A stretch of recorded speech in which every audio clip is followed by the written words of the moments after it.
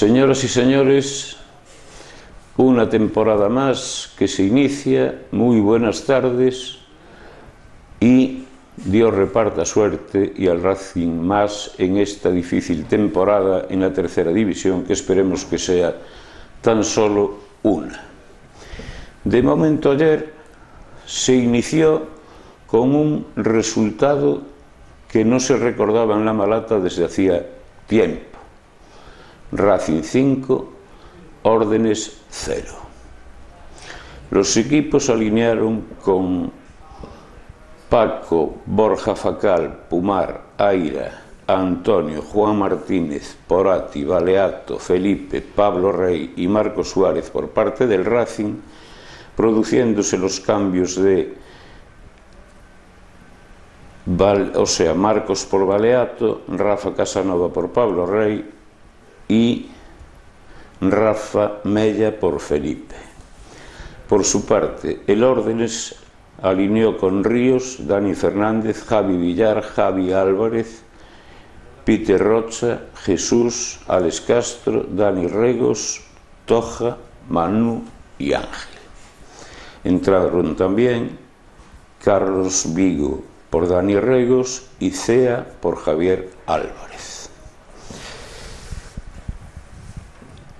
El partido en su primera parte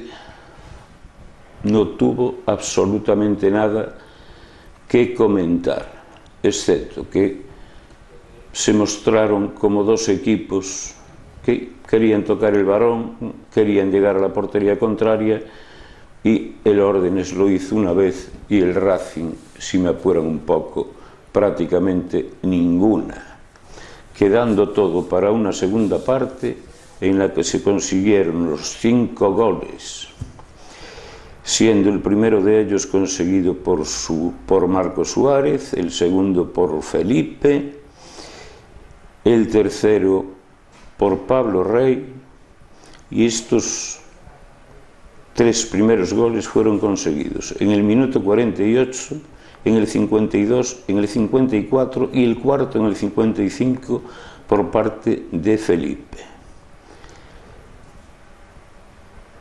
Mientras que el quinto lo consiguió Álvarez en el minuto 79, o sea que fueron tan seguidos, tan seguidos, que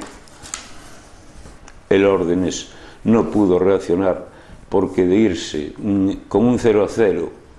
alentador, no es que tuviera grandes ocasiones, pero